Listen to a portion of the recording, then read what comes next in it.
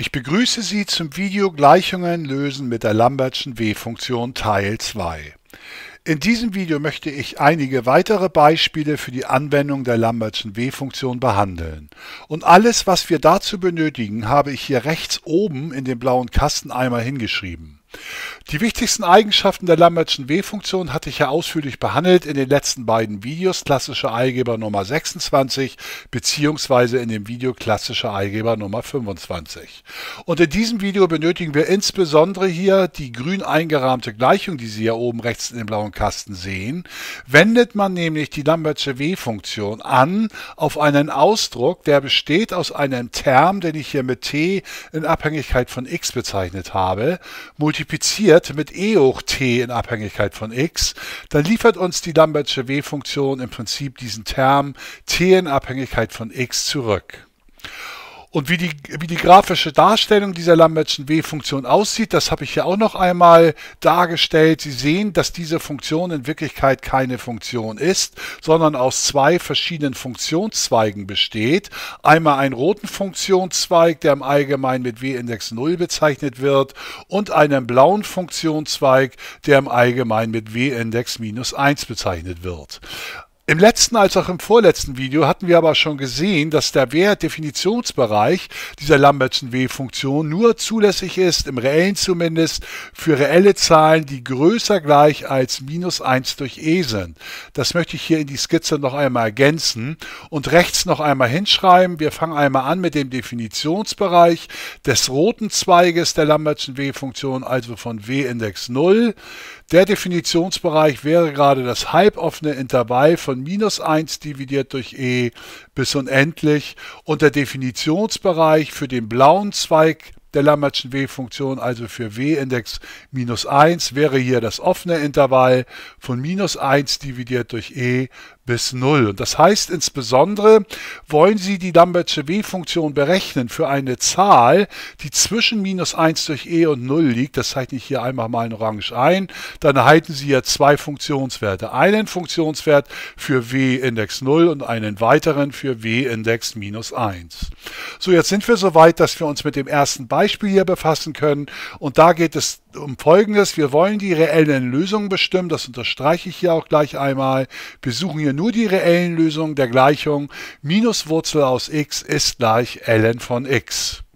Bevor wir uns dieser Lösung dieser Gleichung jetzt zuwenden werden, wollen wir zunächst einmal den Definitionsbereich bestimmen, für den diese Gleichung überhaupt Gültigkeit hat. Da wir hier nur an reellen Lösungen interessiert sind, brauchen wir also nur nach reellen x-Werten zu suchen und Sie kennen aus der Analysis schon folgenden Sachverhalt, dass die Wurzel aus einer reellen Zahl definiert ist für alle möglichen reellen Zahlen größer gleich 0. Hingegen aber der natürliche Logarithmus ist nur definiert für reelle Zahlen größer als 0. Das heißt insbesondere hier in unserem Fall sind nur reelle Zahlen zulässig, die aus der Menge R plus kommen. Das heißt nur x-Werte größer als 0. So, dann können wir uns jetzt der Lösung hier einmal widmen. Ich schreibe dazu vielleicht noch einmal die Ausgangsaufgabe auf. Also minus die Wurzel aus x soll der natürliche Logarithmus von x sein. Wir können jetzt im ersten Schritt einmal diese gesamte Gleichung durch die Wurzel aus x dividieren. Wurzel aus x ist auf jeden Fall ungleich 0, da wir nur x-Werte betrachten, die größer als 0 sind. Das heißt, die Wurzel kann nicht 0 sein, sodass die Division hier auf jeden Fall erlaubt ist. Dann erhalten wir hier auf der linken Seite einfach nur noch minus 1 und auf der rechten Seite haben wir dann stehen ln von x dividiert durch Wurzel aus x und dann erinnern wir uns jetzt vielleicht noch einmal an die Potenzgesetze. Wir dürfen nämlich die Wurzel aus x auch schreiben als x hoch 1 halb und wir können dann im nächsten Schritt x hoch 1 halb, was noch im Nenner steht, auch in den Zähler hineinschreiben, als x hoch minus 1 halb, multipliziert mit ln x. Und wir dürfen auch diese beiden Faktoren vertauschen. Warum ich das mache, wird gleich ersichtlich werden. Wir halten dann ln von x multipliziert mit x hoch minus 1 halb. Und dann erinnern wir uns vielleicht noch einmal, das möchte ich hier noch einfügen, an die Eigenschaft des natürlichen Logarithmus und der Exponentialfunktion. Es gilt ja, e hoch ln von x ist gleich x, weil hier Funktion und Umkehrfunktion direkt aufeinandertreffen. Und das können wir ja anwenden auf den Ausdruck x hoch minus 1,5. So dass wir also hier schreiben können, das ist ähm, ln von x multipliziert mit e hoch ln von x hoch minus 1 und Sie kennen folgendes Logarithmusgesetz, und zwar ln von a hoch b ist ja dasselbe wie b mal ln von a. Wir dürfen also einen Exponenten einfach vor den Logarithmus ziehen. Das würde also bei uns jetzt hier liefern, das ist ln von x multipliziert mit e hoch minus 1 mal ln von x. So, wir wollen also diese grün eingerahmte Gleichung hier oben in dem blauen Kasten verwenden und dazu definieren wir uns erstmal den Term t von x und den finden wir jetzt hier oben im Exponenten der e-Funktion. Also t von x wäre bei uns konkret also der Ausdruck minus 1,5 mal ln von x. Und diesen Ausdruck müssen wir auch vor dem e stehen haben und das ist hier nicht der Fall, wie Sie sehen. Das können wir aber erreichen, indem wir diese Gleichung jetzt einfach auf beiden Seiten mit minus 1,5 einfach mal mal multiplizieren, so dass wir auf der linken Seite jetzt plus 1,5 stehen haben und auf der rechten Seite minus 1,5 mal ln von x multipliziert mit e hoch minus 1,5 mal ln von x, so dass wir jetzt hier auf jeden Fall die Lambertsche w-Funktion anwenden können. Das schreibe ich mal so in w, Klammer auf, Klammer zu. Das heißt, auf beiden Seiten wollen wir jetzt die Lambertsche w-Funktion anwenden dann erhalten wir hier auf der linken Seite w an der Stelle ein halb und auf der rechten Seite bleibt eigentlich nur noch übrig minus ein halb mal ln von x, nämlich der Term in Abhängigkeit von x. So, jetzt schauen wir noch einmal nach der grafischen Darstellung hier oben rechts in dem blauen Kasten. Ein Halb ist eine Zahl, die größer als 0 ist. Das bedeutet, für unsere Lambertsche W-Funktion kommt jetzt nur der rote Zweig in Frage, weil ein Halb größer als 0 ist. Das heißt also, wir werden jetzt W0 hier benutzen, um die Lösung für x herauszubekommen. Wir werden zunächst einmal mit minus 2 hier multiplizieren. Dann erhalten wir hier ln in Abhängigkeit von x, das schreibe ich mal auf die linke Seite hin, ist dann gleich minus 2 mal, jetzt schreibe ich hier W0 an der Stelle von 1,5. Und die exakte Lösung unserer obigen Gleichung erhalten wir jetzt schließlich, indem wir beide Gleichungen e hochnehmen. Dann erhalten wir auf der linken Seite, da e und ln sich ja aufheben, es kommt hier einfach x raus und auf der rechten Seite erhalten Sie den exakten Wert durch e hoch minus 2 mal w-Index 0 an der Stelle 1,5. Wenn man jetzt an einer numerischen Lösung interessiert sein sollte, das ist ja wie gesagt hier der exakte Wert, um den numerischen Wert jetzt hier zu ermitteln, können Sie beispielsweise mal auf die Seite im Internet gehen, Wolfram Alpha, das habe ich hier unter dem Video auch nochmal verlinkt, und dort das Ganze einmal eingeben, wie man das eingeben muss. Die Syntax dazu hatte ich schon im letzten Video erklärt, wie das geht. Und wenn Sie das machen, würden Sie hier folgenden Wert ungefähr halten. Und zwar würde hier rauskommen ungefähr 0,49 und dann geht es weiter mit 4,866. So, wenn Sie sich die Gleichung hier oben noch einmal anschauen im ersten Beispiel, dann kann man diese Gleichung auch interpretieren als Schnittpunktsberechnung zwischen den beiden Funktionen minus Wurzel x und der Logarithmusfunktion ln von x. Und das habe ich hier einmal skizziert, rechts im Bild, wie Sie sehen, in Rot dargestellt ist einmal die Wurzelfunktion minus Wurzel aus x und in Blau dargestellt die natürliche Logarithmusfunktion. Und Sie sehen, dass beide Funktionen sich offensichtlich ungefähr schneiden beim x-Wert 0,5. Dann können wir jetzt auch gleich zu einem weiteren Beispiel einmal übergehen, das ich hier ebenfalls schon einmal vorbereitet habe. Hier geht es wieder darum, bestimmen Sie die reelle Lösung der Gleichung x hoch x ist gleich 2. Und bevor wir uns dieser Lösung jetzt zuwenden werden, möchte ich auch hier einmal den Definitionsbereich bestimmen. Für welche reellen Zahlen ist diese Gleichung x hoch x gleich 2 überhaupt lösbar? Und aus der Analyse wissen Sie hoffentlich, zumindest, hoffe ich zumindest, dass x hoch x nur definiert ist, für Zahlen, reelle Zahlen x größer als 0. Das heißt also auch hier wäre der Definitionsbereich dieser Gleichung wieder die Menge r plus. Also alle reellen Zahlen x größer als 0. So, dann fange ich hier einmal an. Ich schreibe zunächst einmal die Gleichung noch einmal ab. x hoch x soll 2 sein. Ich werde hier erstmal logarithmieren beide Seiten. Dann erhalten wir auf der linken Seite ln von x hoch x, auf der rechten Seite entsprechend ln von 2. Und jetzt wende ich wieder das Logarithmusgesetz von oben an. Wir dürfen den Exponent x vor den Logarithmus schreiben. Dann erhalten wir hier x mal ln von x ist gleich ln von 2. Und im nächsten Schritt werde ich dieses x hier, was hier vor dem Logarithmus steht, umschreiben wieder mit e hoch ln von x mal ln von x muss, ist gleich ln von 2, wie Sie sehen. Und ln von 2 ist ja wieder eine Zahl, die auf jeden Fall größer als 0 ist. Das heißt, wir können jetzt wieder die grün eingerahmte Gleichung von oben verwenden. Ich gehe nochmal nach oben. Unser Term t in Abhängigkeit von x, ja, wie sieht er jetzt hier in diesem Fall konkret aus?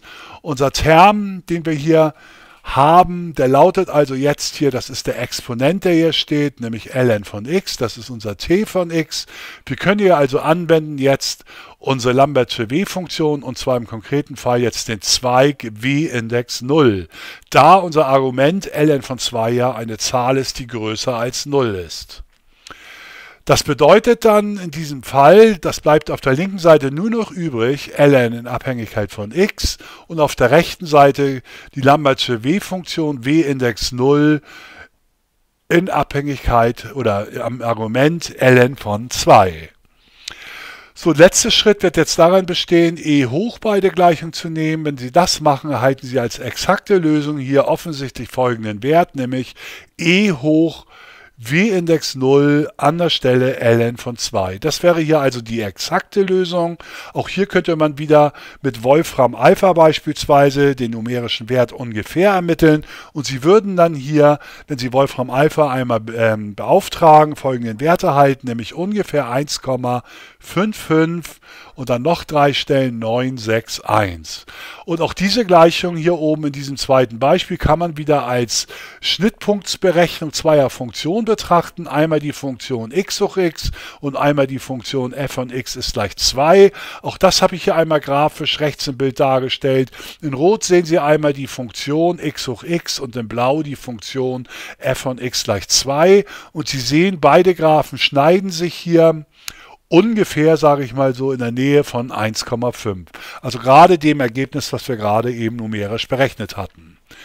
So, dann kommen wir jetzt zu etwas komplizierteren Beispielen, die nicht mehr ganz so einfach zu ermitteln sind wie die ersten beiden Beispiele. Und dazu betrachten wir hier einmal das dritte Beispiel. Auch hier sind wieder die reellen Lösungen gesucht. Ich unterstreiche das hier wieder einmal. Und zwar von der Gleichung x mal e hoch minus x Quadrat soll gleich ein Viertel sein. Zunächst einmal wissen wir, dass ein Viertel auf jeden Fall positiv ist. Und wir wissen auch, dass die Exponentialfunktion selbst, egal welches x Sie auch einsetzen, immer größer als 0 ist. Das heißt, wenn die rechte Seite größer als 0 ist, muss auch die linke Seite größer als 0 sein. Ein Produkt ist aber nur dann größer als 0, weil ja ein Faktor schon größer als 0 ist, muss auch der zweite Faktor Faktor, also in diesem Fall das x hier größer als 0 sein, sodass wir hier halten, also x ist wieder zu suchen in der Menge r plus, genauso wie bei den ersten beiden Beispielen. So, ich möchte die Gleichung jetzt noch einmal hier hinschreiben. Wir haben zu lösen x mal e hoch minus x Quadrat ist gleich ein Viertel. Und hier verwenden wir jetzt einen Trick, genauer gesagt, der Trick ist hier eine gescheite Substitution jetzt hier zu verwenden. Und die Substitution, die hier zum Ziel führen wird, sieht folgendermaßen aus. Wir führen dazu die neue Variable u ein und die definieren uns für u, das soll gerade mal x Quadrat sein. Dann können wir das Ganze auch einmal nach x auflösen. Wir halten dann formell zumindest x ist gleich plus minus die Wurzel aus u. Nun suchen wir aber reelle Lösungen, die positiv sind. Das hatten wir ja oben schon ermittelt, dass der Definitionsbereich für unsere Gleichung ja nur positive reelle Zahlen sein können. Das heißt, dieses Minuszeichen, das können wir hier ignorieren vor der Wurzel, so dass wir insgesamt eigentlich hier für x nur die positive Wurzel von u berücksichtigen müssen. Und das Ganze setzen wir jetzt hier oben in die Aufgabe einmal ein. Aus x wird dann einfach die Wurzel aus u und aus e hoch minus x Quadrat wird dann einfach e hoch minus u. Und die rechte Seite sieht immer noch genauso aus, nämlich ein Viertel. Und der nächste Schritt ist jetzt der, dass wir diese gesamte Gleichung hier auf beiden Seiten quadrieren werden. Aus Wurzel u zum Quadrat wird dann einfach u. Aus e hoch minus u zum Quadrat, ja, dann können Sie die Exponenten multiplizieren letztendlich. Das gibt dann e hoch minus 2u und ein Viertel zum Quadrat ist ein Sechzehntel. So, dann werden wir im nächsten Schritt die gesamte Gleichung einmal mit minus 2 hier noch multiplizieren. Dann folgt daraus, auf der linken Seite haben wir dann minus 2u stehen, multipliziert mit e hoch minus 2u und auf der rechten Seite 1 Sechzehntel mal minus 2 ist minus 1 Achtel.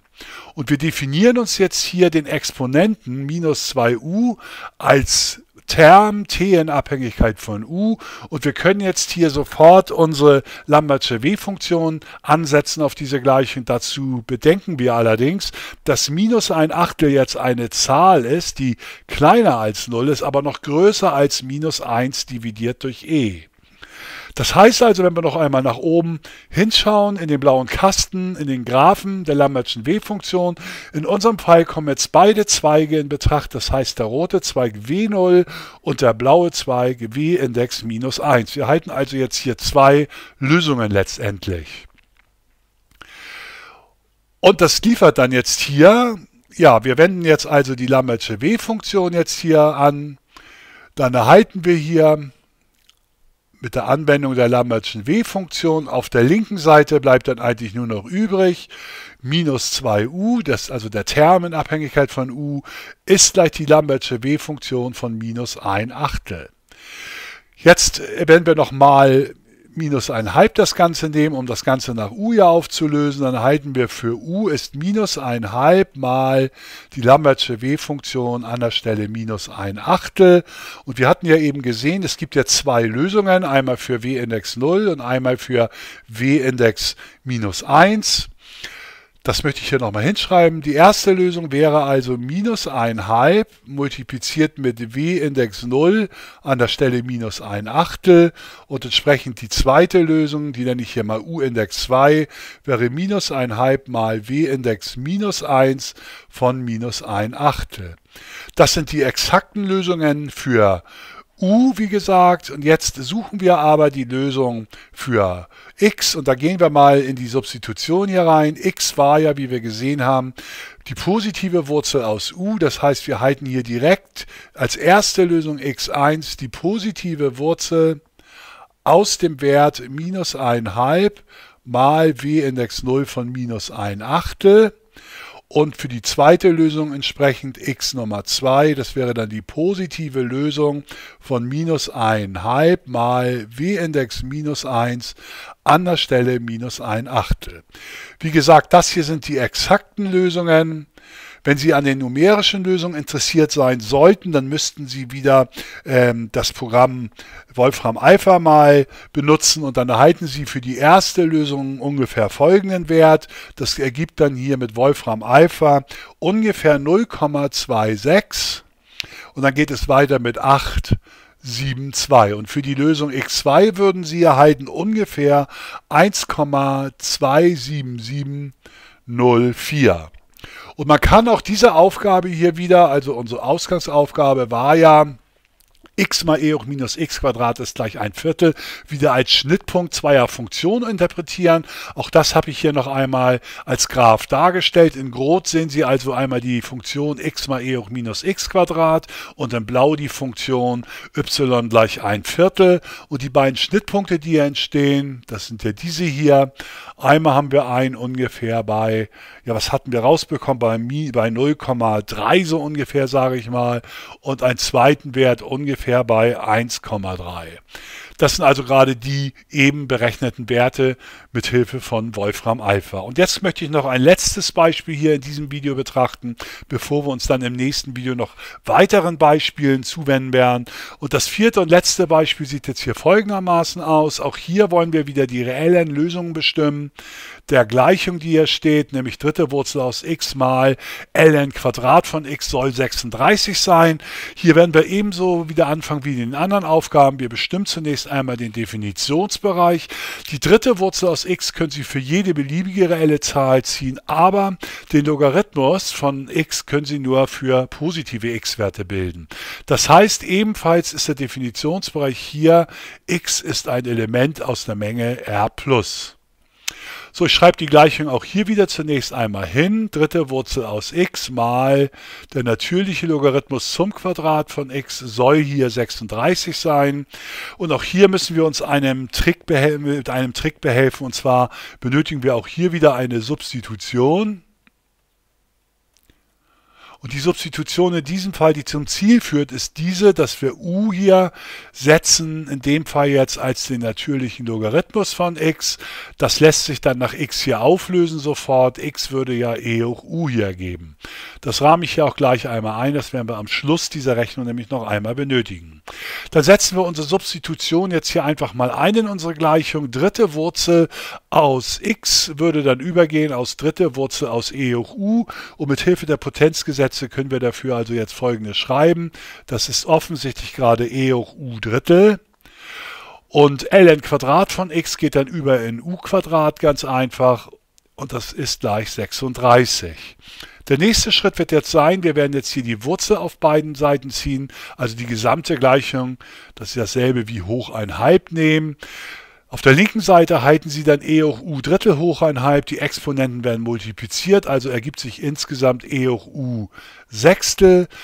u Quadrat hoch ein halb gibt einfach u und die Wurzel aus 36 ist ja bekanntlich plus oder minus 6. So, der nächste Schritt wird jetzt sein, wir schauen mal nach, was ist unser Term, den wir hier definieren werden. Unser Term t in Abhängigkeit von u ist in diesem Fall hier also gerade der Ausdruck u dividiert durch 6. Damit wir jetzt die Lambertsche W-Funktion jetzt hier anwenden können, müssen wir also die Gleichung zuvor noch einmal multiplizieren mit 1 Sechstel. Dann erhalten wir hier auf der linken Seite ein Sechstel und ich schreibe das u jetzt mal zuerst hin. Ich vertausche also diese beiden Faktoren hier, das ist ja erlaubt, multipliziert mit e hoch ein Sechstel u ist gleich plus oder minus 1. Und wir werden jetzt die Lambertsche W-Funktion auf beiden Seiten hier einmal anwenden.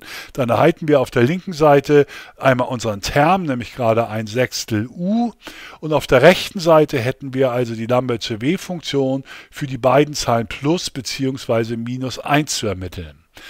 Nun müssen wir allerdings bedenken, w an der Stelle plus 1 ist dasselbe wie w0 an der Stelle plus 1, aber w an der Stelle minus 1 ist kein reeller Zahlenwert mehr. Das ist nämlich ein Zahlenwert, der ist auf jeden Fall kleiner als minus 1 dividiert durch e, liegt also außerhalb unseres Definitionsbereiches und würde dann komplexe Werte liefern. Das heißt, das ist ein Element aus der Menge der komplexen Zahlen, allerdings ohne der Menge der reellen Zahlen, also echt komplex.